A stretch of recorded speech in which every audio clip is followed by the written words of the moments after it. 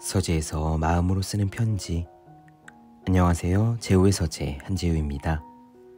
원하는 것을 이루는 방법을 알려주는 책이나 강의에서 빠지지 않고 등장하는 이야기가 있습니다. 소원을 빌었으면 반드시 이루어진다고 믿으라는 말이죠. 그렇게 믿어야 실제 현실이 된다고들 합니다. 대표적인 가르침이 마가복음에 나오는 이런 구절이에요. 내가 너희에게 말하노니 무엇이든지 기도하고 구하는 것은 받은 줄로 믿으라.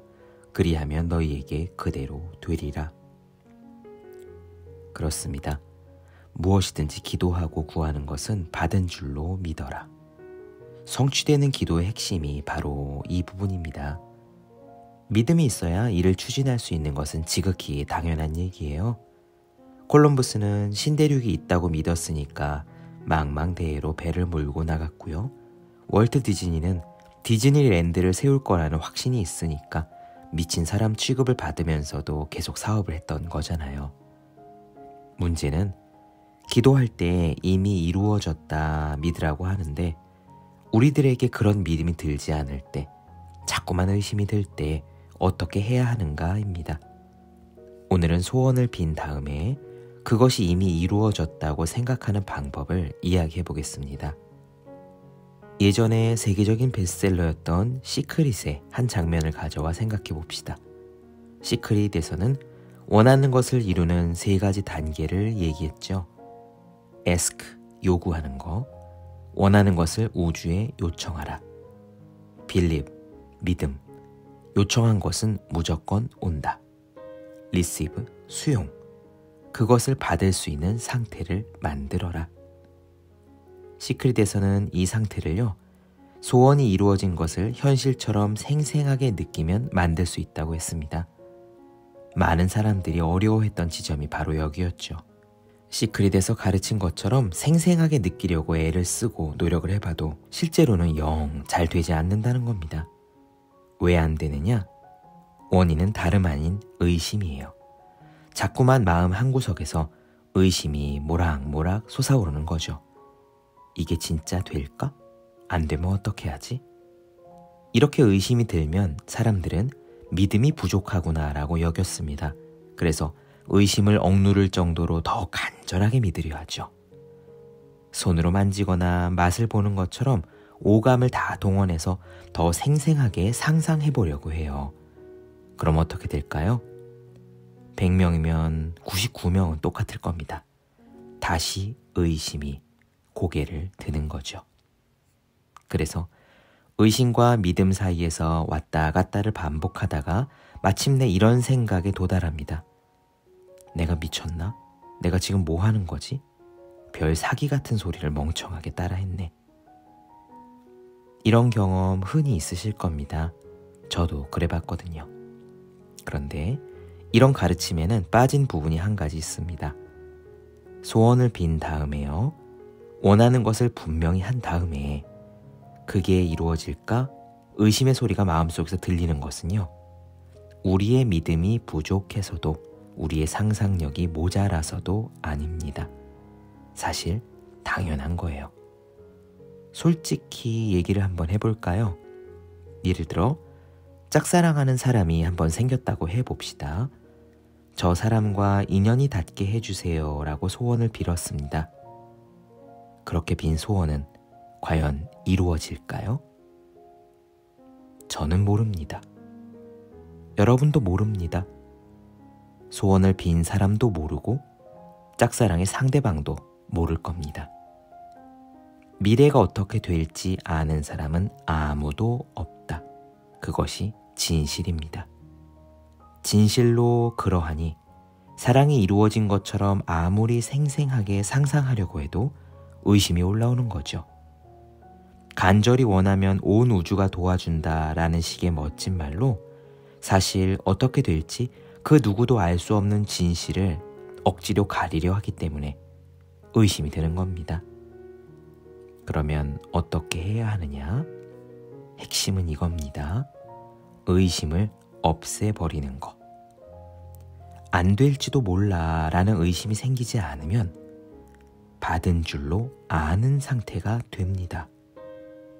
그러면 의심은 왜 생길까요? 될지 안 될지 솔직히 모르는데 꼭 되어야 한다고 강하게 집착하는 데서 바로 의심이 옵니다. 진실은 플러스도 마이너스도 아닌 제로 상태인데 억지로 되어야 한다고 플러스 10만큼의 마음을 내니까 그 반작용으로 무의식에서는 당연히 마이너스 10만큼의 의심이 따라오는 겁니다. 그러므로 의심을 없애는 길은 사실 간단해요. 꼭 되어야 한다는 집착을 내려놓는 것이죠. 플러스 10을 내지 않는 겁니다. 플러스도 마이너스도 아닌 제로의 상태 그대로를 수용하고 받아들이는데 길이 있습니다. 요컨대 모든 것을 진실 그대로 투명하게 보십시오. 첫 번째, 나는 이것이 이루어지기를 의도합니다. 라고 요청을 하세요. 두드리세요. 내가 이런 의도를 가지고 있음을 명확히 인식하세요. 두 번째, 그것이 될지 안 될지 솔직히 알 수 없는 현실을 그대로 인정하세요. 될 수도 있고 안 될 수도 있다. 그게 진실이다. 그리고 세 번째, 이것이 중요합니다. 짝사랑의 예를 다시 한번 생각해 보죠. 그 짝사랑의 대상과 사랑이 맺어져서 결혼에 꼴이나는 것이 그 사람의 인생에 진정으로 좋은 일인지 아닌지 우리가 알 수 있나요? 잘 생각해 보세요. 우리는 그것을 알 수 없습니다. 눈앞에 번쩍번쩍 빛나는 저 남자가, 저 여자가 나를 정말 행복하게 해줄 수 있는지 우리는 사실 모릅니다. 이 사람보다 더 잘 맞는 사람이 다음 소개팅에 나올 예정인지 누가 알겠어요. 평생 손에 물을 안 묻히게 해주겠다는 호언 장담이 아, 새빨간 거짓말인지 누가 알겠습니까?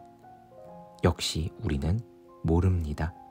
그러므로 우리는 역시 진실을 투명하게 보아야 합니다. 소원이 이루어지는 것이 좋은지 안 좋은지 알 수 없는 것이 진실이다. 그래서 마지막 네 번째.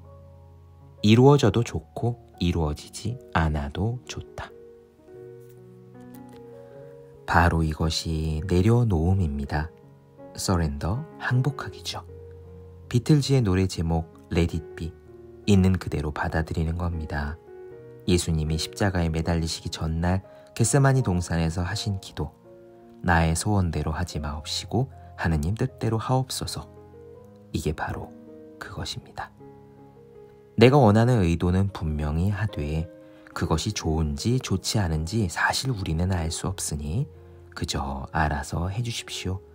되어도 좋고 되지 않아도 좋습니다. 다만 저는 따르겠습니다.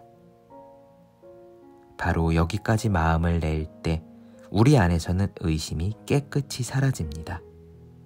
괴종시계의 시계추가 오른쪽으로 움직이지 않으면 더 이상 왼쪽으로도 움직이지 않죠.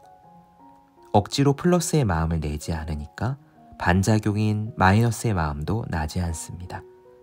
바로 이렇게 집착과 의심이 모두 사라진 상태. 그때 우리의 마음은 한없이 편안해집니다. 그렇게 편안한 상태에서는 우리가 하는 모든 언행이 가장 적절합니다. 꼭 필요한 말을 하고 꼭 자연스러운 행동을 하는 것이지요. 그 말과 행동에 온 우주가 반응합니다. 짝사랑의 상대는 부담 없이 마음을 열게 될 수도 있죠. 바로 이것이 기도하고 구한 다음 받은 줄로 믿는 방법입니다. 올바른 기도에 대한 법륜 스님의 글 한 편 나누어 드리겠습니다. 우리가 할 수 있는 가장 바람직한 기도는요, 동양과 서양, 불교와 기독교, 영성과 세속에서 다르지 않다는 것을 깨달으실 수 있으셨으면 합니다. 사람들은 뭐든지 자기가 원하는 대로 되고 싶어 합니다. 원하는 대로 안 되면 괴로워합니다. 그래서 자기 힘으로 안 되면 남의 힘을 빌리고 사람 힘으로 안 되면 신의 힘을 빌려서라도 자기가 원하는 대로 되고 싶어 합니다. 그러니 신이라는 존재는 전지전능해야 되죠. 전지전능하지 않으면 내가 원하는 것을 다 들어줄 수 없으니 말입니다. 매우 답답할 때는 신을 믿고 용기를 가지고 기도하는 것이 일시적으로 도움이 됩니다. 그러나 수행은 그런 게 아니에요. 수행은 세상 만사가 내가 원하는 대로 다 될 수 없다는 사실을 깨닫는 일입니다. 그렇다면 내가 원하는 대로 되는 게 꼭 좋은 일일까요? 그렇지 않습니다. 이 세상이 사람들이 원하는 대로 다 이루어진다고 생각해 봅시다. 그럼 그곳이 천국일까요? 그런 세상은 순식간에 지옥이 되어버릴 겁니다. 내가 좋아하는 남자를 다른 여자도 좋아해요.